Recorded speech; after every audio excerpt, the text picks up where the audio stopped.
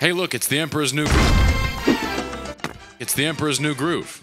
Another one of those licensed Disney platforming games where you and Pacha go through the movie's script, defeating enemies and solving puzzles and doing a lot of things like that. There's so much going on in this game, I don't even know where to start. But to be able to start, we gotta start. So with that being said, let's gather around our llamas, hit the farm, and feed them various items so they're not hungry. You start off in the beautiful grassy hills of the village. Pacha's village at that. All right. Which means you get to learn the lay of the land from his children. Look at this little fella. I'm too little. And what I love so much about this game is the dialogue. It's always breaking the fourth wall. How do you get here so fast? Hey, it's a game. game. Along with having to do the exact opposite of what the villagers ask of you. You get to feel like a real bad boy. Breaking down this sacred, fragile tree, destroying ancient statues, really standing up against the man. Anyways, our first red idol opportunity arises when you meet this kid on his llama bike. So you want to be a player, but your wheels ain't flying. And with obvious inspiration from the egg thief from Spyro, you just gotta chase him around and cut him off in his path to retrieve the idol. He's a recurring challenge in all the levels, so we'll meet again. Speaking of meeting again, he quickly returns for an intense battle, and with the ability to spit seeds out of our mouths, a shootout ensued. Ow. Ow.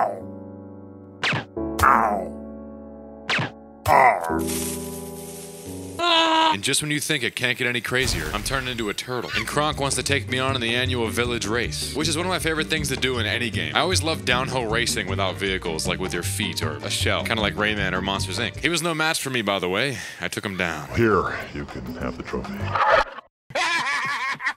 Finally, we get our chance to leave the village. You'll have to try to follow my dad. By doing the classic sneak missions many games love to throw at you. You just gotta hide behind these huts while Pacha turns around and says, Huh? huh, huh, huh, huh, huh, huh. Simple enough, we make it through to the final boss level, which is Yzma, who we just gotta dodge her potions to open this door, and we can leave. You call yourself an end of level boss, Yzma? Nope. Now we move on to Jungle Night. The stakes get higher, and it's dark, both literally and figuratively, considering this fly is stuck here marked for death, and we just mock him. You stupid! And with big webs means big spiders, and I don't like spiders. So I killed him. Ah! Directly from the movie, the squirrel makes a nice appearance, and he gives you balloons to help you with this lift transportation. And as I skip over a lot of other small details that don't really matter, you're transported to another event with the llama biker. One rock's not enough to break my new bike. He's got a stronger bike, so it's a little different this time. So I hit him with the two rock stack. There's a lot of other puzzle-like things to do here, but it would be too hard to mention in the time frame, so I'm just gonna kind of play them as I say this. And as we make our way to the exit, we plummet. But it's all part of the story, and the Jaguars aren't having it. This looks like a serious situation. So you gotta run. As a kid, this level always gave me trouble because having to tap the hell out of the X button starts to hurt after a minute. And I learned this once again after my hand hurt. Tapping the X button for a minute. Didn't I play this kind of game in the 80s? Nope. Now we're at the river, and you can say we're pretty waterlogged right now. While floating quickly down the river, we must avoid crocs, turtles, spiders, and even freshly cut logs. Ow! But at least the monkeys are here to toss us bananas for health. Hmm, bananas. So much for the bananas, the monkeys are throwing coconuts at me now. Look out! RPG! And just as things mellow out here at the river, the waterfall drops us into the croc hunt, an endless horde of vicious crocodiles that you gotta hold off for a bit. And with only a sliver of health left, I protected me and my buddy Pacha flawlessly. Great shot! Great shot! Perfect! Want a race? Meanwhile, the bike kid returns on a llama raft to race me down the river. Although it seemed like my racing technique was beginning to fail, I ended up beating the child anyway. Oh, and you can't forget about the final boss fight. Yzma just throws blow-up animals in the water that you gotta spit on. I really don't understand her strategy here, but I'll go with it. She'll be back. I've seen it in the script. Jungle Day. It's the jungle in the day. Just look at this beautiful river backdrop. I hope I edit myself floating away in the water. That'd be fun. This section features a bird's eye view maze filled with guards and timing and other puzzle scenarios. Fast forward a bit and I'm turned into a frog. And by using Super Leap technology, I was able to make my way through these tricky button puzzles. Pacha says he knows there's a red idol around, but he just can't see it. So we use the look button to look up at the big boy and, and spit in his mouth. And there's also these little goobers running around. The mountain. It's getting pretty icy up here. Pacha crosses the bridge as it breaks beneath his feet. Nice footwork, Chunky. I like them chunky. Luckily, we get to meet this bird guy on top of a hill. It's Condor Man. I am Condor Man. We must launch him into hitting this button. And if he misses the mark, which happened a few times, you get to watch him run all the way back up the hill every time without being able to skip it. It's awesome. A man has fallen. That boulder nearly squashed me. And what's a mountain without any danger? There's an epic boulder dodging segment that sent me packing a few times, but with the right moves, the right style, you can overcome this challenge and be able to compete with Kronk in an ice skating green idol collection contest. You won. Kuzco's poison. On to the city.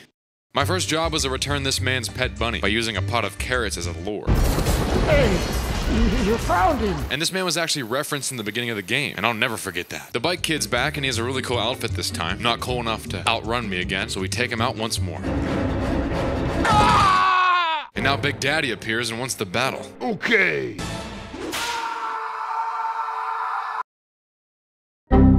Alright, we gotta get in the palace. That means sneaking through the royal gardens. I like gardens. A path that involves challenges like dangerous sky puzzles. Kinda reminds me of Battle for Bikini Bottom in the Dream World. Hope you played that, that's a great game. This wall is so weak that even a llama could charge through it. This guy looks like a Spyro enemy from the first world, like the green guy. And of course, with sneaking around comes guards on high alert. I built up my Kuzco statue of gold, and we're in. But this naked guy's blocking the doorway. Those crazy peacocks stole my clothes. His flying pants have been stolen by the birds. And after retrieving his magical pants, we dress him up and he just flies away. I like this scene right here. Some more puzzles to get through. I really enjoyed this one. Maybe it inspired this lights, camera, pants minigame. And finally, we face off against Yzma once more, defending ourselves against their potions until we're able to climb up to the top and reclaim the throne. But I'm still a llama, so it doesn't matter. We gotta get that potion.